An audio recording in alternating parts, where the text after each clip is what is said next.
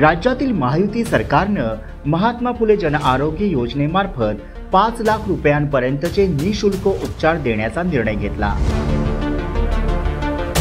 यामुळे आतापर्यंत एकतीस ऑगस्ट दोन हजार चोवीसपर्यंत राज्यात दहा लाख त्र्याहत्तर हजार रुग्णांनी याचा लाभ घेतलाय. यामुळे सामान्य गोरगरीब जनतेला मोफत उपचार आता घेण्याची सुविधा मिळते